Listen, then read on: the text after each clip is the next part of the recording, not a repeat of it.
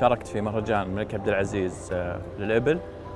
عادة أنا أنحت وجوه أشخاص أشياء ثانية. هذه أول مرة أنحت آه، ناقة. في الأساس أنا فنان تشكيلي رسام من الطفولة الموهبة دي موجودة عندي. النحت دخلت فيه بالصدفة صراحة استهواني. عجبني لقيت شخص قاعد ينحت ودخلت معه. جربت عجبني الموضوع استمريت فيه تعمقت فيه. الآن أنا أدرب في مجال النحت. أنا أغلب شغلي أغلب شغلي اللي هو البورتريه بشر. لكن ك... ك... كمخلوقات حية سويت خيل قبل بس بحجم صغير. إبل أنا أول مرة صراحة هذه أول تجربة لي ك واكتشفت إنه ما شاء الله كائن عجيب جدا مليان مليان تفاصيل. من الأقدام للرأس للسنام لكل اجزائها كذا مميز.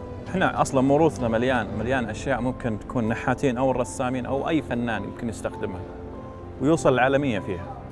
أنا أشوف إن خزامة إن شاء الله بتطابق هذا بإذن الله لكن بتطابقها 100% أدق التفاصيل.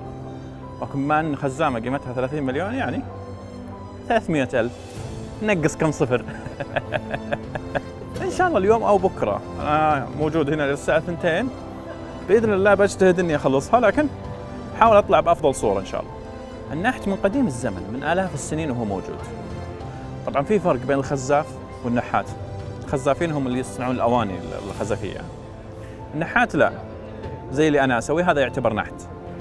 أولا أشكر كل القائمين على مهرجان الملك عبد العزيز. للإبل صراحة تنظيم رائع وشيء يعكس موروثنا يعني عالميا.